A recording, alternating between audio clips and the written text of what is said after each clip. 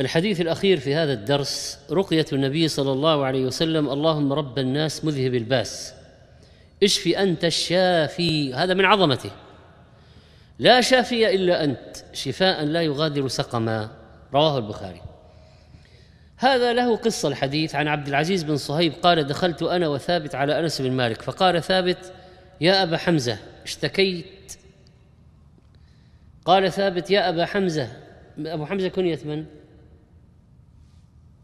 أبو حمزة كنية من؟ ها؟ أبو حمزة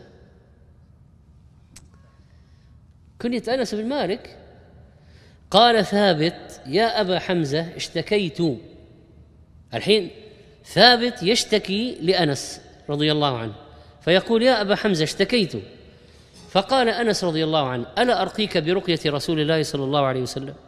قال بلى. فذكر الحديث. وعن أم المؤمنين رضي عائشة رضي الله عنها قالت كان النبي صلى الله عليه وسلم يعوذ بعضهم يعوذ بعضهم. يمسحه بيمينه. طبعا مسح باليمين تفاؤل بزوال العلة. واليمين لها فضل على الشمال. طيب ماذا كان عليه الصلاة والسلام يقول في التعويذ؟ أذهب الباس رب الناس واشف أنت الشافي. لا شفاء إلا شفاؤك شفاء لا يغادر سقما لا يغادر يعني لا يترك. وقالوا ما هذا الكتاب لا يغادر صغيرة ولا كبيرة إلا أحصاها الحديث رواه البخاري ومسلم. كان عليه الصلاة والسلام يرقي نفسه وغيره بهذا. كما قالت عائشة رضي الله عنها كان إذا اشتكى نفث على نفسه بالمعوذات ومسح عنه بيده.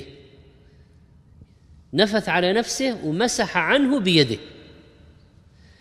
تقول فلما اشتكى وجعه الذي توفي فيه طفقت أنفث على نفسه بالمعوذات التي كان ينفث التي كان ينفث وأمسح بيد النبي صلى الله عليه وسلم عنه رجاء بركتها. يعني النبي عليه الصلاة والسلام في حالة الوهن وهو في الاحتضار وهو على فراش الموت عائشة تأخذ بيده الشريفة رجاء بركتها فتمسح على نبي الله صلى الله عليه وسلم بيده عليه الصلاة والسلام. رجاء بركتها رواه البخاري ومسلم. ورقاه جبريل عليه السلام فقال يا محمد اشتكيت؟ فقال نعم. قال بسم الله أرقيك. في أحد في أحد المناسبات المرات جاءه جبريل رقاه بسم الله أرقيك. من كل من كل شيء يؤذيك. من شر كل نفس يعني سواء كان العين العين العين الحاسدة العين هذه أو بمعنى الآدمي العين. من شر كل نفس أو عين حاسد الله يشفيك بسم الله ارقيك رواه مسلم. كان عليه الصلاة والسلام يرقي الحسن والحسين رضي الله عنهما فكان يعوذهما ويقول أعيذكما بكلمات الله التامة من كل شيطان وهامة ذات السم الذي يقتل الهامة. ومن كل عين لامة التي تلم وتصيب بالسوء إذا حلت بالشيء. يعني يقول عليه الصلاة والسلام للحسن والحسين وهو يعوذهما هكذا كان إبراهيم يعوذ إسحاق وإسماعيل. ابنيه عليهم السلام رواه البخاري والترمذي واللفظ له. ومسح النبي صلى الله عليه وسلم بعض أعضاء جسد المريض بيده الشريفة كما فعل مع سعد رضي الله عنه في مرضه فوضع يده على جبهته ثم مسح يده على وجهه وبطنه ثم قال اللهم اشف سعدا وأتمم له هجرته رواه البخاري ومسلم. علمنا النبي عليه الصلاة والسلام أن نرقي أنفسنا ضع يدك على الذي تألم من جسدك وقل بسم الله ثلاثا وقل سبع مرات أعوذ بعزة الله وقدرته من شر ما أجد وأحاذر رواه مسلم. فالله عز وجل من عظمته وعزته وربوبيته إنه هو الشافي وحده. الشفاء بيده. لا شافي إلا هو لا طبيب ولا خبير ولا استشاري. الشافي هو الله يقدر الأسباب وإذا مرضت فهو يشفين. يقول الامام بن عبد البر رحمه الله فالبرء ليس في وسع مخلوق أن يعجله قبل أن ينزل أو أن يقدر وقته وحينه قال وقد رأينا المنتسبين إلى علم الطب يعالج أحدهم رجلين وهو يزعم أن علتهما واحدة في زمن واحد وسن واحد وبلد واحد وربما كان أخوين توأمين غذاؤهما واحد فعالجهما بعلاج واحد فيفيق أحدهما ويموت الآخر. أو تطول علته ثم يفيق عند الأمد المقدور له. هذا كتاب التمهيد لابن عبد البر. لذلك النبي عليه الصلاة والسلام توسل في هذه الرقية إلى الله بكمال ربوبيته. اللهم رب الناس وكمال رحمته بالشفاء. أذهب الباس مذهب الباس مذهب الباس. وأنه وحده الشافي وأنه لا شفاء إلا شفاؤه فتضمن التوسل إليه بتوحيده وإحسانه وربوبيته. زاد المعاد.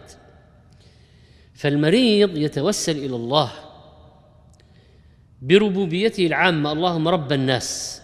ان الله الخالق المالك المدبر. خلقتني أنت تمرضني وأنت تشفيني. قدرت علي المرض أسألك الشفاء. أسألك أن ترفعه. الطبيب سبب الدواء سبب. الشافي هو الله. أنزل القرآن رحمة للعالمين. يا أيها الناس قد جاءتكم موعظة من ربكم وشفاء. جعل الله القرآن شفاء لأمراض القلوب. شفاء من من الوسواس والنفاق والشك والشبهات والشهوات والحسد وسوء الظن. ماذا تريد من أدواء القلب؟ وأمراض الأبدان أيضا شفاء. قل هو الذين آمنوا هدى وشفاء. وننزل من القرآن ما هو شفاء ورحمة للمؤمنين. كل القرآن شفاء. والمعوذتان أفضل ما يتعوذ به. والفاتحة أه، هل تقاوم الجراثيم كلام رب الأرض والسماوات؟ ولذلك الاستشفاء بالقرآن عبادة عظيمة لأن فيها لجوء إلى الله بكلامه. لجوء الله بكلامه. استشفاء بكلامه. هذا هذا أعظم الأدوية. أعظم الأدوية. ولذلك حتى سواء كانت أمراض يعني حسية معنوية قلبية نفسية جسدية العلاج ينفع فيها كلها. القرآن. ما أنزل الله داء إلا أنزل له شفاء منه هذا القرآن. لكل داء دواء فإذا أصيب دواء الداء برأ بإذن الله. وأنزل الله أدوية حسية. وأخبرنا عن مكامن للأدوية. الحبة السوداء والعسل والحجامة والسنة والسنوت والعود الهندي والقسط البحري فيه كل أخبرنا عن مكامن مكامن للأدوية. والرقية علاج عظيم. ولا تفريق ترى ما يجي واحد يقول أنا أصبت بمرض أستعمل القرآن ولا أروح للمستشفى؟ يا أخي استعمل استشفي بالقرآن واذهب للمستشفى. ليش نفرق يعني؟ ليش الفصام؟ ارقي نفسك واذهب للطبيب. ارقي نفسك سوي عملية. ارقي نفسك وابلع حبوب الدواء. ما في تعارض. ما في تعارض. ترى القرآن يعني يعني ما يضر لا يضر. هذه الأدوية تتضارب مع بعض. أدوية أهل الدنيا. أما هذا الرباني الرباني هذا هذا ما يضر. ولا يتضارب مع شيء.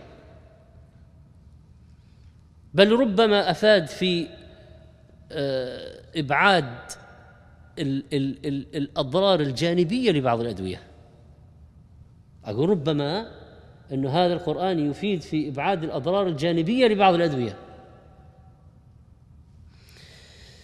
ولذلك اجمع بينهما يا عبد الله ولا تقل هذا أو هذا وقد لا يوجد علاج أصلا عند الأطباء. قد يقولوا لك ميؤوس ما نعرف ما عندنا ما ما وصل علمنا إلى شيء.